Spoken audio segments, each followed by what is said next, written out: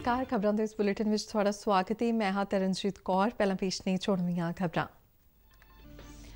ਅੱਜ ਦੁਪਹਿਰ 3 ਵਜੇ ਭਾਰਤ ਸਰਕਾਰ ਅਤੇ ਅੰਦੋਲਨਕਾਰੀ ਕਿਸਾਨਾਂ ਦੀ ਕਮੇਟੀ ਵਿਚਾਲੇ ਗੱਲਬਾਤ ਸ਼ੁਰੂ ਹੋਈ। ਦਿੱਲੀ ਨਾਲ ਲੱਗਦੀਆਂ ਵੱਖ-ਵੱਖ ਸੀਮਾਵਾਂ ਤੇ ਕਿਸਾਨਾਂ ਦਾ ਵਿਰੋਧ ਪ੍ਰਦਰਸ਼ਨ ਅੱਜ 6ਵੇਂ ਦਿਨ ਵੀ ਰਿਹਾ ਜਾਰੀ।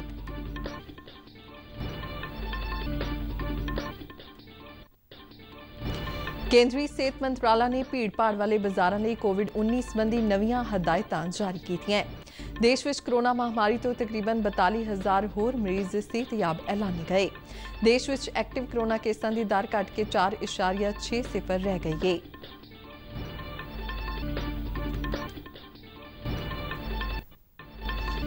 ਜੰਮੂ ਅਤੇ ਕਸ਼ਮੀਰ ਵਿੱਚ ਜ਼ਿਲ੍ਹਾ ਵਿਕਾਸ ਕੌਂਸਲਾਂ ਦੇ ਦੂਜੇ ਪੜਾਅ ਦਾ ਮਤਦਾਨ ਮੁਕੰਮਲ। ਦੁਪਹਿਰ 1 ਵਜੇ ਤੱਕ 27.84% ਪੋਲਿੰਗ ਦਰਜ।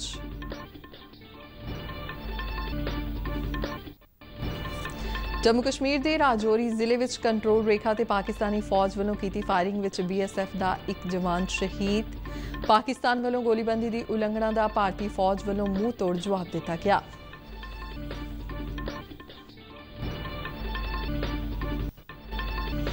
ਅੱਜ ਦੇਸ਼ ਭਰ ਵਿੱਚ ਸੀਮਾ ਸੁਰੱਖਿਆ ਬਲ ਦਾ 56ਵਾਂ ਸਥਾਪਨਾ ਦਿਵਸ ਮਨਾਇਆ ਗਿਆ। ਪ੍ਰਧਾਨ ਮੰਤਰੀ ਨਰਿੰਦਰ ਮੋਦੀ ਨੇ ਸੀਮਾ ਸੁਰੱਖਿਆ ਬਲ ਦੇ 56ਵੇਂ ਸਥਾਪਨਾ ਦਿਵਸ ਤੇ ਬੀਐਸਐਫ ਦੇ ਜਵਾਨਾਂ ਤੇ ਉਹਨਾਂ ਦੇ ਪਰਿਵਾਰਾਂ ਨੂੰ ਵਧਾਈ ਦਿੱਤੀ।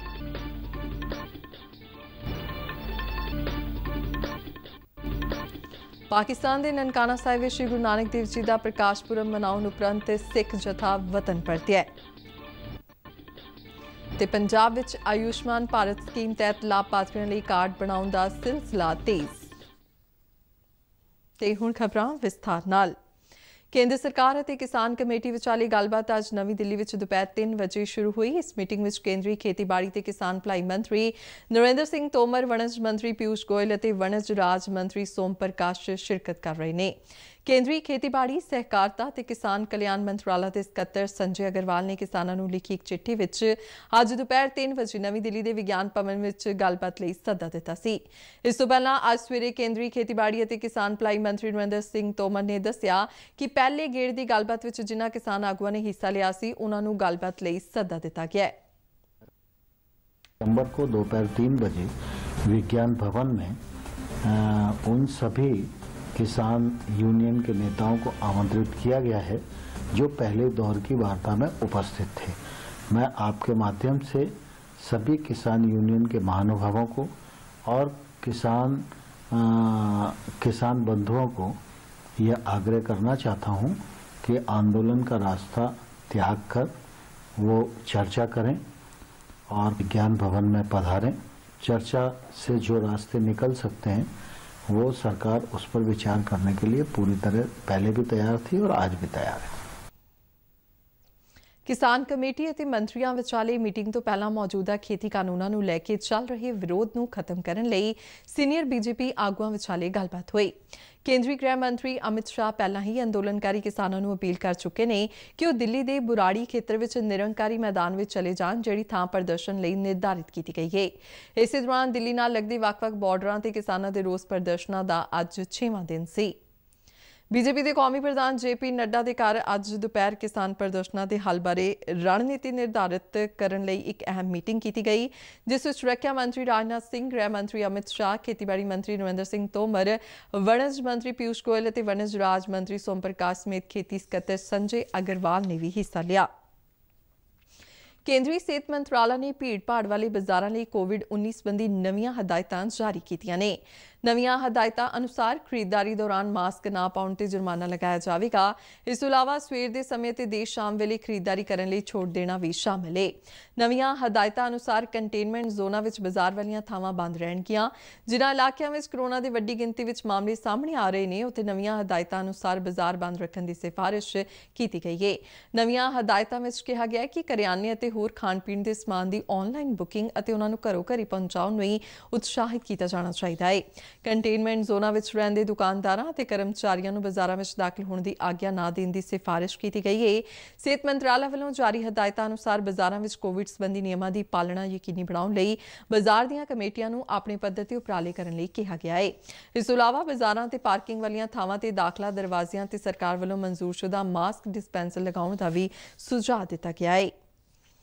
ਭਾਰਤ ਵਿੱਚ ਕਰੋਨਾ ਦੇ ਪ੍ਰਤੀ ਮਿਲੀਅਨ ਆਬਾਦੀ ਪਿੱਛੇ ਮੌਤ ਦਾ ਅੰਕੜਾ ਸਿਰਫ 2% ਦਰਜ ਕੀਤਾ ਗਿਆ ਹੈ ਕੇਂਦਰੀ ਸਿਹਤ ਸਕੱਤਰ ਲਵ ਅਗਰਵਾਲ ਨੇ ਨਵੀਂ ਦਿੱਲੀ ਵਿੱਚ ਪੱਤਰਕਾਰਾਂ ਨਾਲ ਗੱਲਬਾਤ ਕਰਦਿਆਂ ਦੱਸਿਆ ਕਿ ਭਾਰਤ ਵਿੱਚ ਕਰੋਨਾ ਦੀ ਟੈਸਟਿੰਗ ਵਿੱਚ ਵੱਡਾ ਵਾਧਾ ਦੇਖਣ ਨੂੰ ਮਿਲਿਆ ਹੈ ਉਹਨਾਂ ਕਿਹਾ ਕਿ ਟੈਸਟਾਂ ਦੇ ਲਿਹਾਜ਼ ਨਾਲ ਭਾਰਤ ਅਮਰੀਕਾ ਨਾਲੋਂ ਅੱਗੇ ਚੱਲ ਰਿਹਾ ਹੈ ਸਿਹਤ ਸਕੱਤਰ ਨੇ ਦੱਸਿਆ ਕਿ ਪੰਜਾਬ, ਹਿਮਾਚਲ, ਹਰਿਆਣਾ, ਉੱਤਰਾਖੰਡ ਅਤੇ ਗੁਜਰਾਤ ਵਿੱਚ ਐਕਟਿਵ ਕੇਸਾਂ ਵਿੱਚ ਲਗਾਤਾਰ ਵਾਧਾ ਦਰਜ ਕੀਤਾ ਜਾ ਰਿਹਾ ਹੈ ਉਹਨਾਂ ਆਮ ਲੋਕਾਂ ਨੂੰ ਮਾਸਕ ਦੀ ਲਾਜ਼ਮੀ ਵਰਤੋਂ ਕਰਨ, ਵਾਰ-ਵਾਰ ਹੱਥ ਧੋਣ ਅਤੇ ਢੁਕਵੀਂ ਦੂਰੀ ਬਣਾ ਕੇ ਰੱਖਣ ਦੀ ਸਲਾਹ ਵੀ ਦਿੱਤੀ।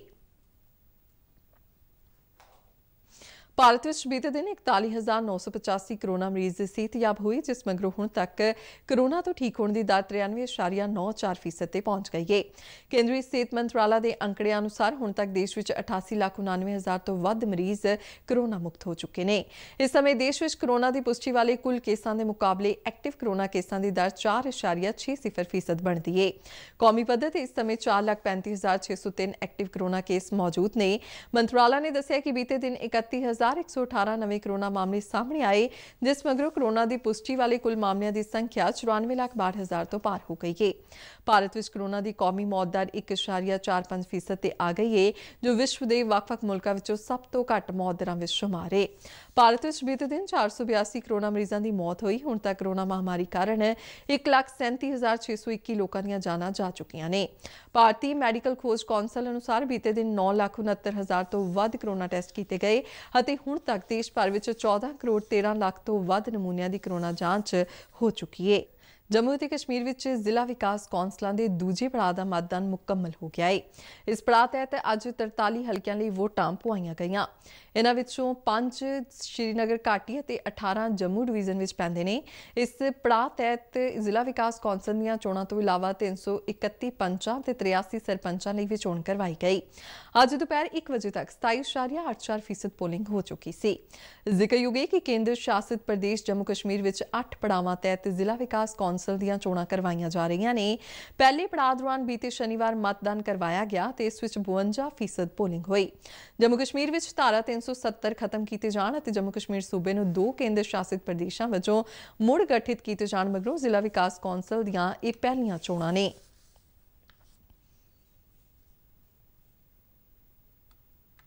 ਜੰਮੂ ਅਤੇ ਕਸ਼ਮੀਰ ਦੇ ਰਾਜੌਰੀ ਜ਼ਿਲ੍ਹੇ ਵਿੱਚ ਕੰਟਰੋਲ ਰੇਖਾ ਤੇ ਪਾਕਿਸਤਾਨੀ ਫੌਜ ਵੱਲੋਂ ਬਿਨਾਂ ਭੜਕਾੜ ਤੇ ਕੀਤੀ ਗਈ ਫਾਇਰਿੰਗ ਵਿੱਚ ਬੀਐਸਐਫ ਦਾ ਇੱਕ ਸਬ ਇੰਸਪੈਕਟਰ ਸ਼ਹੀਦ ਹੋ ਗਿਆ ਹੈ ਬੀਐਸਐਫ ਦੇ ਇੱਕ ਬੁਲਾਰੇ ਨੇ ਜੰਮੂ ਵਿੱਚ ਦੱਸਿਆ ਕਿ ਫਾਰਵਰਡ ਡਿਫੈਂਸ ਲੋਕੇਸ਼ਨ ਡਿਊਟੀ ਤੇ ਤਾਇਨਾਤ ਸਬ ਇੰਸਪੈਕਟਰ ਪਾਰਟੀਨਿਸਟ ਗੁੱਟੇ ਦੀ ਗੋਲੀ ਲੱਗਣ ਕਾਰਨ ਮੌਤ ਹੋ ਗਈ।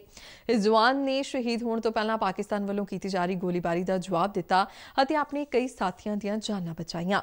ਬੀਐਸਐਫ ਦੇ ਬੁਲਾਰੇ ਨੇ ਕਿਹਾ ਕਿ ਸਬ ਇੰਸਪੈਕਟਰ ਗੁੱਟੇ ਨੇ ਡਿਊਟੀ ਦੌਰਾਨ ਉੱਚ ਦਰਜੇ ਦੇ ਸਮਰਪਣ ਦਾ ਮੁਜ਼ਾਹਰਾ ਕਰਦਿਆਂ ਆਪਣੀ ਸ਼ਹਾਦਤ ਦਿੱਤੀ। IG BSF Jammu NS Jamwal ਨੇ ਕਿਹਾ ਕਿ ਸ਼ਹੀਦ ਹੋਏ ਸਬ ਇੰਸਪੈਕਟਰ ਗੁੱਟੇ ਬਹੁਤ ਹੀ ਬਹਾਦਰ ਅਤੇ ਵਫਾਦਾਰ ਰਾਖੇ ਸਨ ਅਤੇ ਦੇਸ਼ ਉਹਨਾਂ ਦੇ ਇਸ ਪਰਮ ਬਲੀਦਾਨ ਲਈ ਹਮੇਸ਼ਾ ਰਿਣੀ ਰਹੇਗਾ। ਉਹਨਾਂ ਦੱਸਿਆ ਕਿ ਬੀਐਸਐਫ ਨੇ ਪਾਕਿਸਤਾਨ ਦੀ ਗੋਲੀਬਾਰੀ ਦਾ ਮੂੰਹ ਤੋੜ ਜਵਾਬ ਦਿੱਤਾ ਹੈ। ਸਬ ਇੰਸਪੈਕਟਰ ਗੁੱਟੇ ਦੀ ਮ੍ਰਿਤਕ ਦੇਹ ਨੂੰ ਹਵਾਈ ਜਹਾਜ਼ ਰਾਹੀਂ ਇੰਫਾਲ ਭੇਜਿਆ ਜਾ ਰਿਹਾ ਹੈ, ਜਿੱਥੋਂ ਉਹਨਾਂ ਦੇ ਅੰਤਿਮ ਸੰਸਕਾਰ ਲਈ ਉਹਨਾਂ ਦੇ ਜੱਦੀ ਪਿੰਡ ਲਿਜਾਇਆ ਜਾਵੇਗਾ, ਜਿੱਥੇ ਪੂਰੇ ਫੌਜੀ ਸਨਮਾਨਾਂ ਨਾਲ ਸ਼ਹੀਦ ਦਾ ਅੰਤਿਮ ਸੰਸਕਾਰ ਕੀਤਾ ਜਾਣਾ ਹੈ। ਆਈ ਜੀ ਨੇ ਕਿਹਾ ਕਿ ਦੁੱਖ ਦੀ ਇਸ ਘੜੀ ਵਿੱਚ ਸੀਮਾ ਸੁਰੱਖਿਆ ਬਲ ਪੂਰੀ ਮਜ਼ਬੂਤੀ ਨਾਲ ਪੀੜਿਤ ਪਰਿਵਾਰ ਦੇ ਨਾਲ ਖੜੀਏ ਸੀਮਾ ਸੁਰੱਖਿਆ ਬਲ ਵੱਲੋਂ ਅੱਜ ਆਪਣਾ 56ਵਾਂ ਸਥਾਪਨਾ ਦਿਵਸ ਮਨਾਇਆ ਗਿਆ। ਬੀਐਸਐਫ ਭਾਰਤ ਦੀ ਸਰਹੱਦੀ ਰੱਖਿਆ ਦੀ ਪਹਿਲੀ ਕਤਾਰ ਹੈ ਇਸ ਦੀ ਸਥਾਪਨਾ 1965 ਦੀ ਭਾਰਤ-ਪਾਕਿਸਤਾਨ ਜੰਗ ਤੋਂ ਫੌਰਨ ਬਾਅਦ 1 ਦਸੰਬਰ 1965 ਨੂੰ ਸੰਸਦ ਵਿੱਚ ਲਿਆਂਦੇ ਗਏ ਇੱਕ ਐਕਟ ਅਨੁਸਾਰ ਕੀਤੀ ਗਈ ਸੀ। ਪ੍ਰਧਾਨ ਮੰਤਰੀ ਨਰਿੰਦਰ ਮੋਦੀ ਨੇ ਸਥਾਪਨਾ ਦਿਵਸ ਮੌਕੇ ਬੀਐਸਐਫ ਦੇ ਸਾਰੇ ਕਰਮਚਾਰੀਆਂ ਅਤੇ ਉਹਨਾਂ ਦੇ ਪਰਿਵਾਰਕ ਮੈਂਬਰਾਂ ਨੂੰ ਸ਼ੁਭ ਕਾਮਨਾਵਾਂ ਦਿੱਤੀਆਂ ਨੇ। ਇੱਕ ਟਵੀਟ ਵਿੱਚ ਪ੍ਰਧਾਨ ਮੰਤਰੀ ਨੇ ਕਿਹਾ ਕਿ ਬੀਐਸਐਫ ਨੇ ਆਪਣੇ ਆਪ ਨੂੰ ਇੱਕ ਬਹਾਦਰ ਨੀਮ ਫੌਜੀ ਦਸਤੇ ਵਜੋਂ ਵੱਖਰੀ ਪਛਾਣ ਦਿੱਤੀ ਹੈ ਉਹਨਾਂ ਕਿਹਾ ਕਿ ਬੀਐਸਐਫ ਦੇਸ਼ ਦੀ ਰਾਖੀ ਸਮੇਤ ਕੁਦਰਤੀ ਕਰੋਪੀਆਂ ਦੌਰਾਨ ਨਾਗਰਿਕਾਂ ਦੀ ਸਹਾਇਤਾ ਲਈ ਵੀ ਆਪਣੀ ਅਟੁੱਟ ਵਚਨਬੱਧਤਾ ਨੂੰ ਦਰਸਾਉਂਦੀ ਹੈ ਪ੍ਰਧਾਨ ਮੰਤਰੀ ਨੇ ਕਿਹਾ ਕਿ ਭਾਰਤ ਨੂੰ ਬੀਐਸਐਫ ਤੇ ਮਾਣ ਹੈ ਕੇਂਦਰੀ ਗ੍ਰਹਿ ਮੰਤਰੀ ਅਮਿਤ ਸ਼ਾਹ ਨੇ ਵੀ ਸੀਮਾ ਸੁਰੱਖਿਆ ਬਲ, ਯਾਨੀ ਬੀਐਸਐਫ ਦੇ ਜਵਾਨਾਂ ਨੂੰ ਉਹਨਾਂ ਦੀ ਸੇਵਾ ਤੇ ਸਮਰਪਣ ਦੇ 56 ਵਰੇ ਪੂਰੇ ਕਰਨ ਤੇ ਸ਼ੁਭ ਕਾਮਨਾਵਾਂ ਦਿੱਤੀਆਂ ਬੀਐਸਐਫ ਦੇ ਜਜ਼ਬੇ ਨੂੰ ਸਲਾਮ ਕਰਦਿਆਂ ਟਵੀਟ ਰਾਹੀਂ ਅਮਿਤ ਸ਼ਾਹ ਨੇ ਕਿਹਾ ਕਿ ਬੀਐਸਐਫ ਹਮੇਸ਼ਾ ਆਪਣੇ ਮੋਟੋ ਜੀਵਨ ਪਰਯੰਤ ਕਰਤੱਵਯ ਦੀ ਇਨਮਿਨ ਪਾਲਣਾ ਨੂੰ ਯਕੀਨੀ ਬਣਾਉਣ ਲਈ ਯਤਨਸ਼ੀਲ ਰਹਿੰਦੀ ਏ। ਉਹਨਾਂ ਕਿਹਾ ਕਿ ਭਾਰਤ ਨੂੰ ਬੀਐਸਐਫ ਤੇ ਮਾਣ ਏ। ਪੰਜਾਬ ਦੀ ਕੋਈ 553 ਕਿਲੋਮੀਟਰ ਲੰਬੀ, ਕਠਿਨ ਅਤੇ ਚੁਣੌਤੀਪੂਰਨ ਭਾਰਤ-ਪਾਕਿਸਤਾਨ ਅੰਤਰਰਾਸ਼ਟਰੀ ਸੀਮਾ ਦੀ BSF ਪੰਜਾਬ ਫਰੰਟੀਅਰ ਵੱਲੋਂ 24 ਘੰਟੇ ਨਿਗਰਾਨੀ ਕੀਤੀ ਜਾ ਰਹੀ ਹੈ। BSF ਪੰਜਾਬ ਫਰੰਟੀਅਰ ਦੇ ਜਵਾਨਾਂ ਨੇ ਉਲਟ ਹਾਲਾਤ ਦੇ ਬਾਵਜੂਦ ਚੌਕਸੀ ਬਰਕਰਾਰ ਰੱਖਦਿਆਂ ਸਾਲ 2020 ਦੌਰਾਨ ਰਾਸ਼ਟਰ ਵਿਰੋਧੀ ਅਤੇ ਗੈਰ ਸਮਾਜੀ ਅੰਸਰਾਂ ਵੱਲੋਂ ਦੇਸ਼ ਅੰਦਰ ਪਾਬੰਦੀਸ਼ੁਲਾ ਨਸ਼ੀਲੇ ਪਦਾਰਥਾਂ ਦੀ ਸਮਗਲਿੰਗ ਅਤੇ ਘੁਸਪੈਠ ਨੂੰ ਰੋਕਣ ਲਈ ਵੱਡੀਆਂ ਉਪਲਬਧੀਆਂ ਹਾਸਲ ਕੀਤੀਆਂ। ਇਸ ਸਾਲ BSF ਵੱਲੋਂ ਪੰਜਾਬ ਦੀ ਸਰਹੱਦ ਉੱਤੋਂ 481 ਕਿਲੋਗ੍ਰਾਮ ਤੋਂ ਵੱਧ ਹੈਰੋਇਨ ਬਰਾਮਦ ਕੀਤੀ ਜਾ ਚੁੱਕੀ ਹੈ ਸੀਮਾ ਸੁਰੱਖਿਆ ਬਲ ਨੇ ਪਾਕਿਸਤਾਨ ਦਾ ਬਾਰਡਰ ਲੰਘ ਕੇ ਭਾਰਤ ਅੰਦਰ ਦਾਖਲ ਹੋਣ ਵਾਲੇ 100 ਵਿਅਕਤੀਆਂ ਨੂੰ ਗ੍ਰਿਫਤਾਰ ਕੀਤਾ ਹੈ। ਬੀਐਸਐਫ ਪੰਜਾਬ ਫਰੰਟੀਅਰ ਨੇ ਇਸ ਸਾਲ 6 ਘੁਸਪੈਠੀਆਂ ਨੂੰ ਵੀ ਮਾਰ ਮੁਕਾਇਆ। ਇਸ ਸਮੇਂ ਦੌਰਾਨ ਬੀਐਸਐਫ ਵੱਲੋਂ ਵੱਖ-ਵੱਖ ਤਰ੍ਹਾਂ ਦੇ 36 ਹਥਿਆਰ 58 ਮੈਗਜ਼ੀਨ ਅਤੇ 639 ਰੌਂਦ ਵੀ ਬਰਾਮਦ ਕੀਤੇ ਗਏ। ਆਪਣੇ ਉੱਚ ਚਰਿੱਤਰ ਅਤੇ ਸਦਭਾਵਨਾ ਵਜੋਂ ਪੰਜਾਬ ਫਰੰਟੀਅਰ ਬੀਐਸਐਫ ਨੇ ਸਾਲ 2020 ਵਿੱਚ ਗਲਤੀ ਨਾਲ ਕੌਮਾਂਤਰੀ ਸੀਮਾ ਦਾ ਉਲੰਘਣ ਕਰਕੇ ਭਾਰਤ ਵਿੱਚ ਦਾਖਲ ਹੋਣ ਵਾਲੇ 6 ਪਾਕਿਸਤਾਨੀ ਨਾਗਰਿਕਾਂ ਨੂੰ ਪਾਕਿਸਤਾਨੀ ਰੇਂਜਰਾਂ ਨੂੰ ਵਾਪਸ ਕਰਕੇ ਵਿਸ਼ਵ ਭਾਈਚਾਰੇ ਦੀ ਭਾਵਨਾ ਦਾ ਸੰਦੇਸ਼ ਦਿੱਤਾ। ਸੀਮਾ ਸੁਰੱਖਿਆ ਬਲ ਤੇ ਸਾਰੀਆਂ ਇਕਾਈਆਂ ਤੇ ਹੈੱਡਕੁਆਰਟਰਾਂ ਵਿੱਚ ਅੱਜ ਪੂਰੇ ਉਤਸ਼ਾਹ ਨਾਲ 56ਵਾਂ ਸਥਾਪਨਾ ਦਿਵਸ ਮਨਾਇਆ ਗਿਆ। ਇਸ ਮੌਕੇ ਸੀਮਾ ਸੁਰੱਖਿਆ ਬਲ ਦੇ ਸੀਨੀਅਰ ਅਧਿਕਾਰੀਆਂ ਤੇ ਦੇਸ਼ ਦੀ ਸੁਰੱਖਿਆ ਵਿੱਚ ਤਾਇਨਾਤ ਜਵਾਨਾਂ ਲਈ ਇੱਕ ਸ਼ਾਨਦਾਰ ਸੱਭਿਆਚਾਰਕ ਪ੍ਰੋਗਰਾਮ ਅਤੇ ਸਮੂਹਿਕ ਭੋਜਨ ਦਾ ਆਯੋਜਨ ਕੀਤਾ ਗਿਆ। ਇਸ ਦੌਰਾਨ ਕੋਵਿਡ-19 ਦਿਸ਼ਾ ਨਿਰਦੇਸ਼ਾਂ ਦੀ ਪੂਰੀ ਤਰ੍ਹਾਂ ਪਾਲਣਾ ਕੀਤੀ ਗਈ। ਪਾਕਿਸਤਾਨ ਸਥਿਤ ਨਨਕਾਣਾ ਸਾਹਿਬ ਵਿਖੇ ਪਹਿਲੀ ਪਾਤਸ਼ਾਹੀ ਸ੍ਰੀ ਗੁਰੂ ਨਾਨਕ ਦੇਵ ਜੀ ਦਾ ਪ੍ਰਕਾਸ਼ ਪੁਰਬ ਮਨਾਉਣ ਗਿਆ, ਸਿੱਖ ਸ਼ਰਧਾਲੂਆਂ ਦਾ ਜਥਾ ਅੱਜ ਅਟਾਰੀ ਵਾਗਾ ਸਰਹੱਦ ਰਾਹੀਂ ਵਤਨ ਪਰਤ ਹੈ। ਅਟਾਰੀ ਸਰਹੱਦ ਪਹੁੰਚਣ ਤੇ ਸ਼੍ਰੋਮਣੀ ਗੁਰਦੁਆਰਾ ਪ੍ਰਬੰਧਕ ਕਮੇਟੀ ਵੱਲੋਂ ਜਥੇਦਾਰ ਨਿੱਘਾ ਸਵਾਗਤ ਕੀਤਾ ਗਿਆ। ਸ਼੍ਰੋਮਣੀ ਕਮੇਟੀ ਵੱਲੋਂ ਜਥਾ ਮੈਂਬਰਾਂ ਲਈ ਲੰਗਰ, ਚਾਹ ਪਾਣੀ ਦੇ ਨਾਲ ਨਾਲ ਸੰਗਤਾਂ ਨੂੰ ਅੰਮ੍ਰਿਤਸਰ ਪਹੁੰਚਾਉਣ ਲਈ ਵਿਸ਼ੇਸ਼ ਬੱਸਾਂ ਦਾ ਵੀ ਪ੍ਰਬੰਧ ਕੀਤਾ ਗਿਆ। ਅਟਾਰੀ ਸਰਹੱਦ ਰਾਹੀਂ ਭਾਰਤ ਪਹੁੰਚਣ ਤੇ ਸਿਹਤ ਵਿਭਾਗ ਦੀ ਟੀਮ ਵੱਲੋਂ ਸ਼ਰਧਾਲੂਆਂ ਦੀ ਮੁਕੰਮਲ ਡਾਕਟਰੀ ਜਾਂਚ ਕੀਤੇ ਜਾਣ ਤੇ ਅੰਮ੍ਰਿਤਸਰ ਨਾਲ ਸੰਬੰਧਿਤ ਇੱਕ ਸ਼ਰਧਾਲੂ ਕਰੋਨਾ ਪੋਜ਼ਿਟਿਵ ਪਾਇਆ ਗਿਆ, ਜਿਸ ਦਾ ਤੁਰੰਤ ਐਂਬੂਲੈਂਸ ਰਾਹੀਂ ਗੁਰੂ ਨਾਨਕ ਦੇਵ ਹਸਪਤਾਲ ਲਿਜਾ ਕੇ ਇਲਾਜ ਸ਼ੁਰੂ ਕੀਤਾ ਗਿਆ ਇਸ ਮੌਕੇ ਨਨਕਾਣਾ ਸਾਹਿਬ ਦੇ ਦਰਸ਼ਨ ਕਰਕੇ ਪਰਤੇ ਪੰਜਾਬ, ਦਿੱਲੀ, ਹਰਿਆਣਾ, ਜੰਮੂ ਕਸ਼ਮੀਰ ਸਮੇਤ ਵੱਖ-ਵੱਖ ਰਾਜਾਂ ਨਾਲ ਸੰਬੰਧਿਤ ਸ਼ਰਧਾਲੂਆਂ ਨੇ ਸ੍ਰੀ ਗੁਰੂ ਨਾਨਕ ਦੇਵ ਜੀ ਦੇ ਪ੍ਰਕਾਸ਼ ਸਥਾਨ ਦੇ ਦਰਸ਼ਨਾਂ ਦਾ ਮੌਕਾ ਮਿਲਣ ਤੇ ਖੁਸ਼ੀ ਪ੍ਰਗਟਾਈ ਉਹਨਾਂ ਕਿਹਾ ਕਿ ਉਹ ਵਡਭਾਗੇ ਨੇ ਜਿਨ੍ਹਾਂ ਨੂੰ ਨਨਕਾਣਾ ਸਾਹਿਬ ਸਥਿਤ ਸੱਤ ਇਤਿਹਾਸਿਕ ਗੁਰਦੁਆਰਾ ਸਾਹਿਬਾਨ ਦੇ ਦਰਸ਼ਨਾਂ ਦਾ ਮੌਕਾ ਮਿਲਿਆ ਹੈ। ਉਹਨਾਂ ਪਾਕਿਸਤਾਨ ਦੀ ਜਨਤਾ ਵੱਲੋਂ ਮਿਲੇ ਪਿਆਰ, ਸਤਿਕਾਰ ਅਤੇ ਜਥੇ ਲਈ ਕੀਤੇ ਗਏ ਪ੍ਰਬੰਧਾਂ ਤੇ ਵੀ ਖੁਸ਼ੀ ਜ਼ਾਹਿਰ ਕੀਤੀ। ਸੰਗਤਾਂ ਨੇ ਪਾਕਿਸਤਾਨ ਸਰਕਾਰ ਵੱਲੋਂ ਕੋਰੋਨਾ ਵਾਇਰਸ ਦੇ ਮੱਦੇਨਜ਼ਰ ਨਨਕਾਣਾ ਸਾਹਿਬ ਤੋਂ ਬਿਨਾਂ ਬਾਕੀ ਗੁਰਧਾਮਾਂ ਦੇ ਦਰਸ਼ਨਾਂ ਦੀ ਇਜਾਜ਼ਤ ਨਾ ਦੇਣ ਤੇ ਨਿਰਾਸ਼ਾ ਵੀ ਜਤਾਈ। ਜਥਾ ਆਗੂ ਅਮਰਜੀਤ ਸਿੰਘ ਭਲਾਈਪੁਰ ਮੈਂਬਰ ਸ਼੍ਰੋਮਣੀ ਕਮੇਟੀ ਨੇ ਪਾਕਿਸਤਾਨ ਵਿਖੇ ਨਨਕਾਣਾ ਸਾਹਿਬ ਸਮੇਤ ਹੋਰ ਗੁਰਦੁਆਰਾ ਸਾਹਿਬਾਨ ਦੇ ਪ੍ਰਬੰਧ ਅਤੇ ਸਾਂਭ ਸੰਭਾਲ ਤੇ ਤਸੱਲੀ ਪ੍ਰਗਟਾਈ। ਸੰਗਤਾਂ ਨੇ ਮੁੜ ਤੋਂ ਭਾਰਤ ਸਰਕਾਰ ਪਾਸੋਂ ਕਰਤਾਰਪੁਰ ਸਾਹਿਬ ਦਾ ਲਾਂਘਾ ਖੋਲਣ ਦੀ ਅਪੀਲ ਕੀਤੀ ਤਾਂ ਜੋ ਸੰਗਤਾਂ ਗੁਰੂ ਸਾਹਿਬ ਦੇ ਪਾਵਨ ਅਸਥਾਨ ਦੇ ਖੁੱਲੇ ਦਰਸ਼ਨ ਦੀਦਾਰ ਕਰ ਸਕਣ। ਅੱਛਾ ਤੇ ਅਸੀਂ ਸਥਾਨ ਦੇ ਦਰਸ਼ਨ ਕਰਕੇ ਤੇ ਪ੍ਰਕਾਸ਼ ਪੁਰਬ ਲਾ ਕੇ ਉੱਥੇ ਆਏ ਆ ਸਾਨੂੰ ਬੜੀ ਖੁਸ਼ੀ ਹੋਈ ਆ ਵੀ ਗੁਰੂ ਸਾਹਿਬ ਦੇ ਅਸੀਂ ਪ੍ਰਕਾਸ਼ ਪੁਰਬ ਵਿੱਚ ਉਹਨਾਂ ਦੇ ਜਨਮ ਸਥਾਨ ਦੇ ਦਰਸ਼ਨ ਕੀਤੇ ਤੇ ਬਾਕੀ ਜਿੱਥੇ ਜਿੱਥੇ ਉਹਨਾਂ ਨੇ ਕੰਮ ਕੀਤੇ, ਜਿੱਥੇ ਜਿੱਥੇ ਹੋ ਰਹੇ, ਉਹਨਾਂ ਅਸੀਂ ਗੁਰਧਾਮਾਂ ਦੇ ਵੀ ਦਰਸ਼ਨ ਕੀਤੇ। ਬੜੀ ਖੁਸ਼ੀ ਹੋਈ ਉੱਥੇ ਜਾ ਕੇ। ਭਾਰਤ ਸਰਕਾਰ ਵੱਲੋਂ ਸ਼ੁਰੂ ਕੀਤੀ ਗਈ ਆਯੁਸ਼ਮਾਨ ਭਾਰਤ ਸਕੀਮ ਗਰੀਬ ਅਤੇ ਇਲਾਜ ਤੋਂ ਸਖਣੇ ਨਾਗਰਿਕਾਂ ਲਈ ਇੱਕ ਵਰਦਾਨ ਸਾਬਤ ਹੋਈ ਹੈ ਵੱਡੀਆਂ-ਵੱਡੀਆਂ ਬਿਮਾਰੀਆਂ ਦੇ ਮਹਿੰਗੇ ਇਲਾਜ ਵੀ ਹੁਣ ਇਸ ਸਕੀਮ ਰਾਹੀਂ ਗਰੀਬ ਲੋਕਾਂ ਨੂੰ ਮੁਹੱਈਆ ਕਰਵਾਏ ਜਾ ਰਹੇ ਨੇ। ਕੋਵਿਡ ਕਾਰਨ ਆਯੁਸ਼ਮਾਨ ਭਾਰਤ ਸਕੀਮ ਲਈ ਲਾਭਪਾਤਰੀਆਂ ਨੂੰ ਕਾਰਡ ਜਾਰੀ ਕਰਨ ਦਾ ਕੰਮ ਰੁਕ ਗਿਆ ਸੀ, ਜੋ ਹੁਣ ਮੁੜ ਤੋਂ ਸ਼ੁਰੂ ਹੋ ਗਿਆ ਹੈ ਆਯੁਸ਼ਮਾਨ ਭਾਰਤ ਸਕੀਮ ਤਹਿਤ ਸਿਹਤ ਵਿਭਾਗ ਵੱਲੋਂ ਫਰੀਦਕੋਟ ਦੇ ਸੰਜੇ ਨਗਰ ਵਿੱਚ ਇੱਕ ਵਿਸ਼ੇਸ਼ ਕੈਂਪ ਲਗਾਇਆ ਗਿਆ। ਇਸ ਸਕੀਮ ਤਹਿਤ ਲਾਭਪਾਤਰੀ ਨੂੰ 5 ਲੱਖ ਰੁਪਏ ਦੀ ਸਿਹਤ ਬੀਮੇ ਦੀ ਸਹੂਲਤ ਦਿੱਤੀ ਜਾਂਦੀ ਹੈ ਲਾਭਪਾਤਰੀ ਜਾਂ ਉਸਦੇ ਪਰਿਵਾਰ ਦੇ ਕਿਸੇ ਵੀ ਮੈਂਬਰ ਨੂੰ 5 ਲੱਖ ਰੁਪਏ ਤੱਕ ਦਾ ਇਲਾਜ ਮੁਫਤ ਕਰਵਾਇਆ ਜਾਂਦਾ ਹੈ ਸਰਕਾਰ ਦੀਆਂ ਟੀਮਾਂ ਗਰੀਬ ਬਸਤੀਆਂ ਤੇ ਮੁਹੱਲਿਆਂ ਵਿੱਚ ਖੁਦ ਪਹੁੰਚ ਕੇ ਜ਼ਰੂਰਤਮੰਦ ਲੋਕਾਂ ਦੇ ਕਾਰਡ ਤਿਆਰ ਕਰ ਰਹੀਆਂ ਨੇ। ਇਸ ਪ੍ਰਕਿਰਿਆ ਤੋਂ ਆਮ ਲੋਕ ਕਾਫੀ ਖੁਸ਼ ਨੇ। ਇਹਨਾਂ ਲੋਕਾਂ ਨੂੰ ਆਯੁਸ਼ਮਾਨ ਭਾਰਤ ਸਕੀਮ ਬਾਰੇ ਪੂਰੀ ਜਾਣਕਾਰੀ ਵੀ ਮੁਹੱਈਆ ਕਰਵਾਈ ਜਾ ਰਹੀ ਹੈ ਅੱਜ ਭਾਰਤ ਸਰਕਾਰ ਵੱਲੋਂ ਆਯੁਸ਼ਮਾਨ ਸਰਬੱਤ ਸਿਹਤ ਬੀਮਾ ਯੋਜਨਾ ਦੇ ਅਧੀਨ ਜੋ ਈ ਕਾਰਡ ਬਣਾਏ ਜਾ ਰਹੇ ਹਨ, ਉਹਨਾਂ ਦੇ ਸੰਬੰਧ ਵਿੱਚ ਅੱਜ ਮੈਂ ਇੱਥੇ ਆਇਆ ਸੀਗਾ। ਇਹਦੇ ਵਿੱਚ ਸਰਕਾਰ ਦੀਆਂ ਹਦਾਇਤਾਂ ਦੇ ਮੁਤਾਬਕ 100% ਯਾਨੀ ਕਿ ਜਿਹੜਾ ਕਵਰ ਕਰਨਾ ਹੈ, ਸਾਡੇ ਸਿਹਤ ਮਹਿਕਮੇ ਦੀਆਂ ਸਾਰੀਆਂ ਟੀਮਾਂ ਲੱਗੀਆਂ ਹੋਈਆਂ ਨੇ। ਉਹਨਾਂ ਦੇ ਤਹਿਤ ਬੜਾ ਲੋਕਾਂ 'ਚ ਇਸ ਪ੍ਰਤੀ ਭਾਰੀ ਉਤਸ਼ਾਹ ਹੈ। ਫਰੀਦਕੋਟ ਸ਼ਹਿਰ ਦੇ ਵਿੱਚ ਜੋ ਸਾਡੀ ਆਯੁਸ਼ਮਾਨ ਭਾਰਤ ਸਰਬ ਸਿਹਤ ਬੀਮਾ ਯੋਜਨਾ ਚੱਲ ਰਹੀ ਹੈ, ਉਸ ਦੇ ਵਿੱਚ ਅਸੀਂ ਕਾਰਡ ਬਣਾਉਣ ਦਾ ਅਭਿਆਨ ਕੋਵਿਡ ਤੋਂ ਬਾਅਦ ਪੋਸਟ ਕੋਵਿਡ ਸੈਸ਼ਨ ਤੋਂ ਪਹਿਲੇ ਦਿਨ ਸ਼ੁਰੂ ਕੀਤਾ ਹੈ, ਕਿਉਂਕਿ ਕਰੋਨਾ ਦੇ ਦੌਰਾਨ ਅਸੀਂ ਬੰਦ ਕਰਤੇ ਸੀਗੇ।